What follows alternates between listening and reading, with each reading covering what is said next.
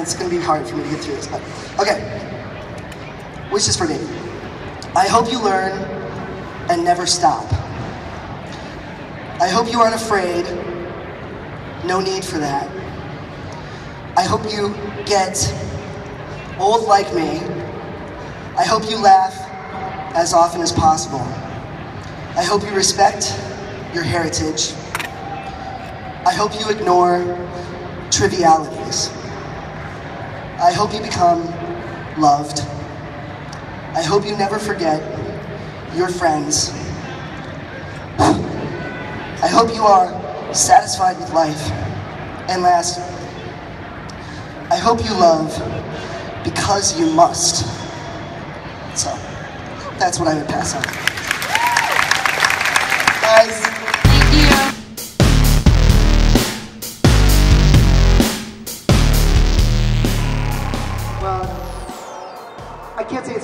It's just like it's right at the top of my head because it really sort of blew my world apart. It was Deadpool. like brilliant. And it's just right my sense of humor, you know, also is right there. And also the lovely, amazing Morena Baccarin, who did some pretty amazing stuff. You know? And did you see the Killing Joke? The Killing Joke? No, I haven't. I, I am desperate to see it. People have been telling me about this for months now. And yeah, I mean, it's right at the top of the list. Once we, uh, we were, we're crazy with God, once the premiere is done, then I'm like, that's when I'm planning on my, my TV time. So yeah. Thank you. Thank you, man. I appreciate it. Hi, next question. All right. So going off, uh, well, a couple of questions. But first, you said you'd want to be Robin if you could play a hero, right? So, which Robin?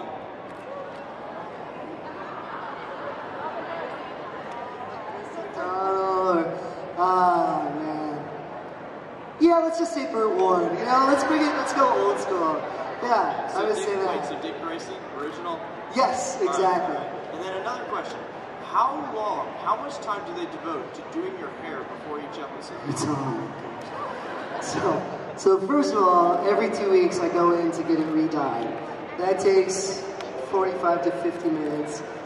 And then every day that I work, it takes about 40 to 45 minutes to get it just right. And you know, it's not a lot of hair there, you know. But so it's just a testament to like, you know, the vision of our our amazing hairdresser on Gotham, Teresa Marasilicio. She's like, she's just she's the best in the business. What's up? Hi there. Hi. My name's uh, Brandon. It's nice to meet you, Robin. Nice to meet you.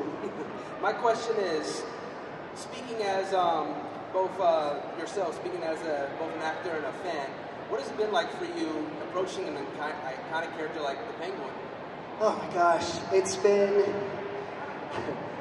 terrifying, incredibly overwhelming, and then ultimately like incredibly satisfying. Like I've gotten so much good feedback, and you know people have like thanked me, which feels really strange. And that's part that's part of the surreal part. You know, like like you know I grew up with these characters like everyone else did here, and uh, to find myself part of the world. Uh, it's beyond. Like, you know, as an actor, you just want to work. And then, you know, when, when you go out for pilot season, you know, every year there's pilot season when they make all the new shows. And if you're an actor, you go on, if you're lucky, you go on 5, 10, 15, 20, you know, auditions, back to back, just trying to book a job, trying to book a job. Anyone wants to book a pilot. Whether or not it gets picked up or not, you don't even worry about it. You just want to book a pilot. And then to find myself book, I not only booked a pilot, I booked a pilot that was straight to series, and I booked a pilot that's about the evolution of Batman. it's like there's there's no superlatives that, that would even come near, you know, how I feel about it. But uh, but you know, it's just been an amazing, amazing ride. And to be and then again to be able to bring something out about the character that people who haven't necessarily read a lot of comics, you know, people who just have seen the movies or the television show, which you know I'm ashamed to admit was me before I got the job. You know, to be able to bring things about this character that people never knew, you know, is just an amazing gift and an amazing responsibility, and I don't take it lightly at all. So. Well, I, I heard that in the when you first started the show, you had a bottle cap in your shoe to do the walk. It, yeah. How much did that hurt? well, okay, so it was it was the flat side up, so I'm not crazy. But uh, but yeah, so it was actually the third episode in. You know, you know, it's still really new, and the walk hadn't really become, you know, fully ingrained in my body yet. And we did the one scene where where uh, Oswald comes back to Gotham City after being, you know, out in the country stabbing frat boys in the neck. it's a family show. Uh, yeah. So he goes back to Gotham City. There's this big scene, and we're shooting in the dead of summer, and we're in Chinatown, and there's a million extras, and like smoke, and a bus, and all these moving parts coming together. It's this big scene where I step off the bus, and I'm like home, and then I then I'm supposed to like walk off into the distance. We do all of that. I go back to where my chair. I sit down in my chair, like because they're moving the camera or whatever, and I'm immediately like, oh, MG, I forgot to do the limp. And you know, we have someone on set. They're called the script supervisor, and their job is to make sure that you know I do the limp and that you know my handkerchief is in the right pocket and that everything sort of matches. So that when you watch the show, you know there aren't any like mistakes or like little things that you would catch. It's their job to catch it. Well, girlfriend didn't catch it, and I was like, and she had come up to me the first thing that day, and she was like, you know, she was like, the other script supervisor told me that sometimes you forget, so don't worry, I gotcha. So I walk back and then I flip out and I go running into the dresser and I was like, I, I forgot the limp. I forgot, I can't believe it. I, I, I, I felt like such, like, you know, it was like, like, I felt like such, like, I'm just, I don't know, I'm not unprofessional. It was like my most unprofessional moment. And he was like, don't worry, we'll cut around it. My wardrobe supervisor comes up to me and she's like, she works in Broadway, and she was like, what if we put something in your shoe? You know, and this is an old acting trick from back in the day. Stella Adler was a famous acting teacher, and she would tell her students, character's got a limp, put a rock in your shoe. And it's really a brilliant thing because it makes, it, it, it, it's not painful, it's annoying, but it's enough of a sense, uh, of a feeling to sort of remind me that every step that Oswald takes hurts. Hi. Hello. Yes. Um, I just wanted to ask you about you've done such an amazing job at all the different aspects of Penguin, everything from being, you know, the lowly beat up on meek little thing to, you know, the grief and losing his mother and all the other tragedies that went through to being the malicious crime boss. As an actor, what of those that range of emotions has been the most enjoyable to portray? Oh man. Well, you know, as an actor, all of them are. You want to play all of them, and I am so blessed that I get. They write me stuff where like. I get to I get to be funny, I get to be tragic, I get to be evil, I get to be sympathetic. Like they just, you know, they, they use every color in the crayon box for me, which is so so satisfying. But it's interesting. So like, for example, when Oswald in season two, if you haven't watched, Spoiler alert. What's wrong with you? um, in season two when he gets brainwashed at Arkham and he becomes, you know, what you see after all of that is really who he is. Deep down inside, underneath all of that scar tissue, you erase all of the pain that he's experienced. You know, that's really who he is. You know, I would like, you know, I would like go home and I'd just be like, yeah, today was great. I'm just gonna go lie down now. And, you know, and then you know that was a couple episodes. That was probably the equivalent of like a month or two.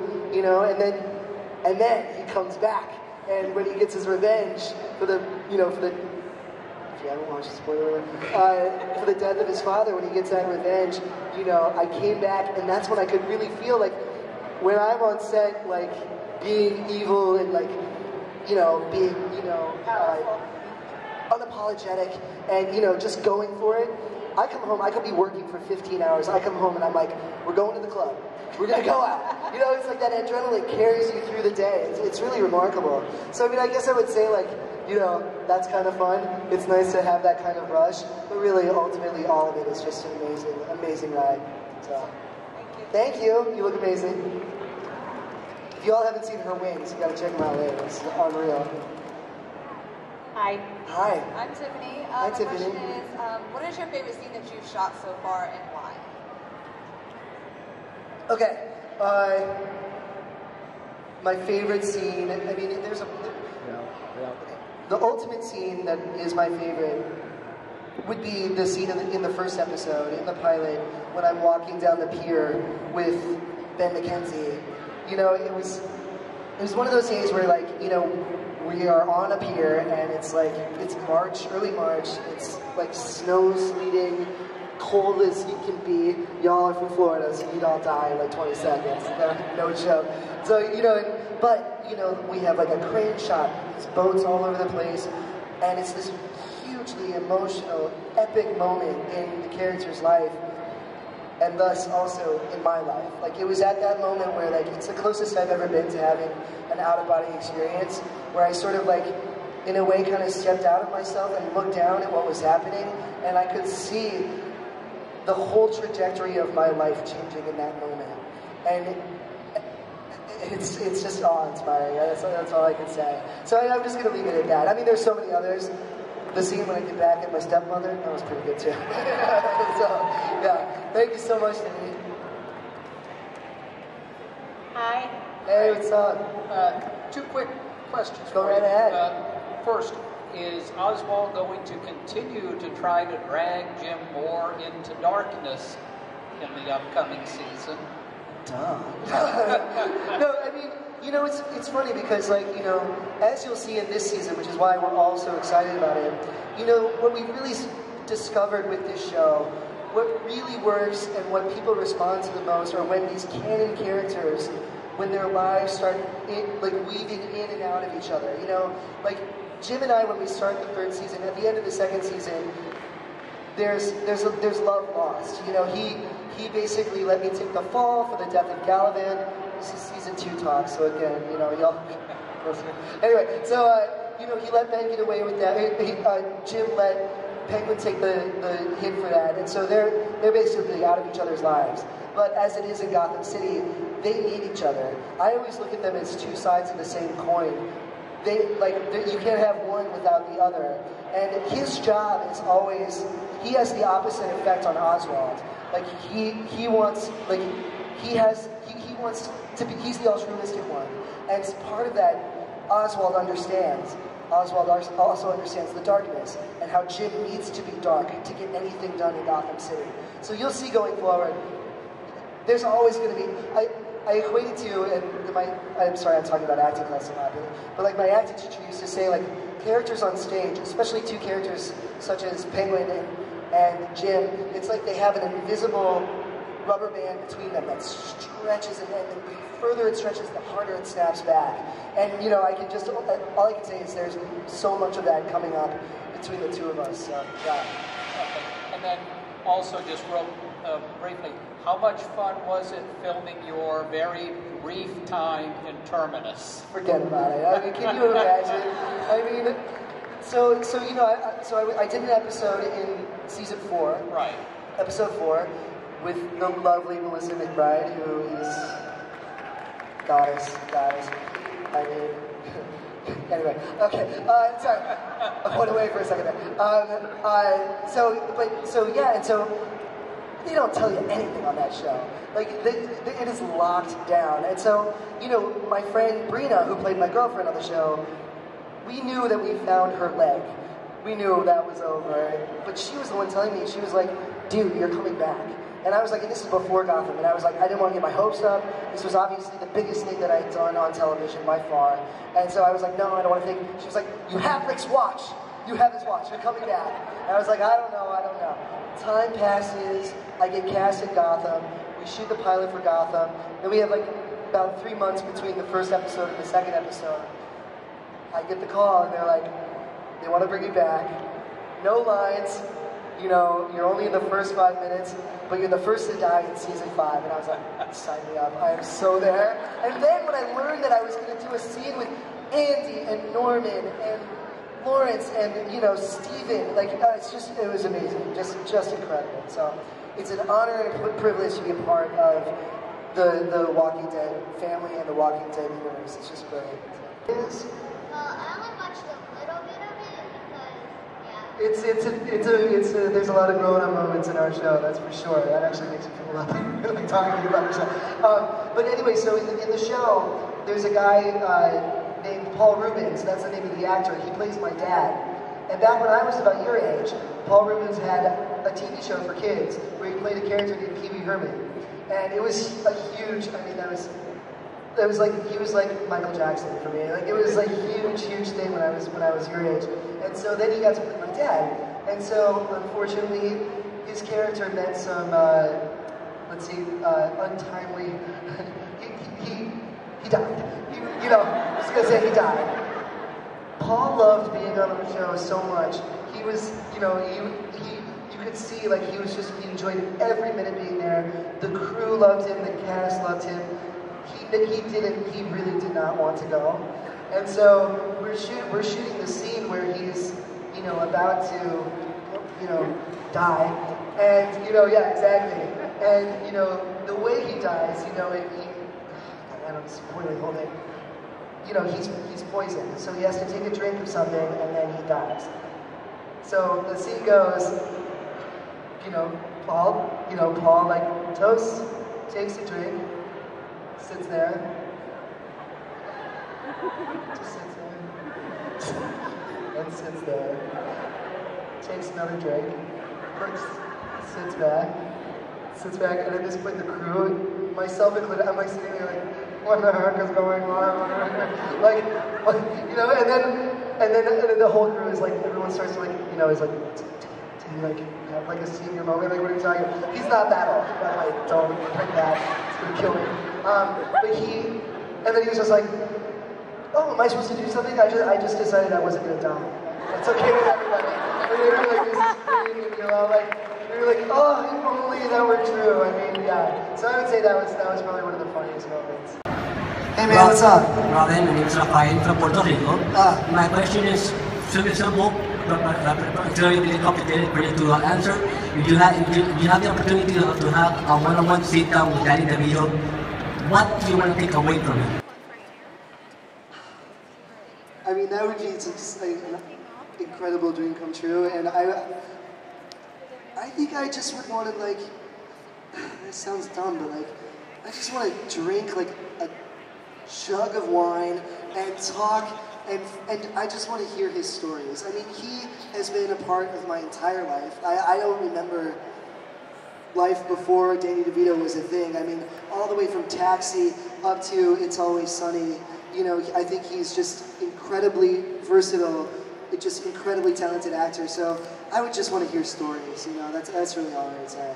What, and then what can we expect from uh, Oswald in the season 3? What can we expect from Oswald in season three? Uh, pretty much right off from the bat, he's making some moves to become the most powerful person in Gotham City. And uh, whether or not he gets there, you know, I'll let you guys see and, and figure it out. But um, on his way to getting there, we start to. Our show this season becomes, uh, in a way, more relevant than it's ever been because we start to address some things that are happening in the world we live in right now, and some of those things are reflected in Oswald's character. So uh, I'm just gonna leave it at that. Thank you. Thank you, man. All right. More questions? It's like that. So we've got